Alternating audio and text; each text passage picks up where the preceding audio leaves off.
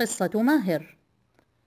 ماهر رجل أعمال ولديه مبلغ مئة ألف ريال.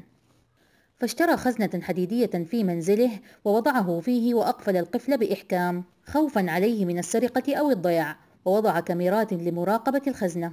ولكنه عندما سافر إلى الخارج ندم أنه لم يأخذ المبلغ معه فقد احتاجه كثيرا فاقترح عليه أحدهم أن يضع المبلغ في البنك. فهو بذلك سيوفر كثيرا حيث أنه لن يحتاج إلى خزنة أو أجهزة مراقبة. سيتمكن من سحب ماله من أي مكان داخل البلاد أو خارجها وفي أي زمان. كذلك الحال مع التخزين السحابي.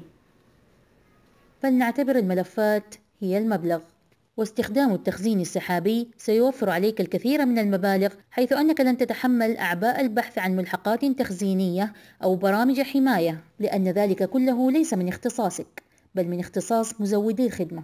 وستستطيع الوصول لملفاتك في أي زمان ومكان.